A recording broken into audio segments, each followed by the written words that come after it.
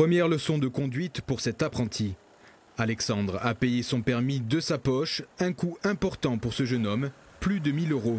Des heures de conduite qu'il aurait pu régler à moindre frais grâce à des aides. Dans cette auto-école ajaxienne, sur près de 600 élèves par an, seulement 10 à 15% en sont demandeurs. Pourtant, elles peuvent financer jusqu'à 1200 euros dans certains cas.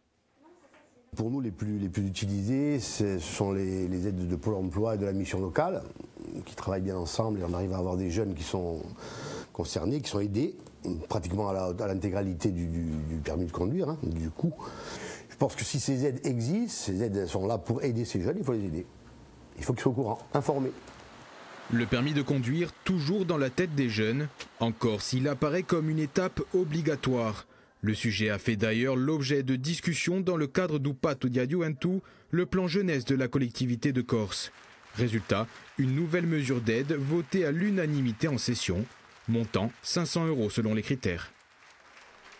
Alors, il faut, il faut, être jeune entre 15 et 25 ans, euh, résider en Corse depuis plus de deux ans. Et là, je dirais, la, la petite nouveauté, c'est en fait justifier d'un engagement bénévole et ou citoyen. Le Pat Opéra repose sur la dialectique des droits et des devoirs, des droits et des devoirs entre la collectivité et le jeune. Et c'est pour cela qu'on ne voulait pas avoir une aide, euh, je dirais, qui tombe comme ça, mais vraiment quelque chose qui incite le jeune à s'engager euh, dans sa ville, dans son village.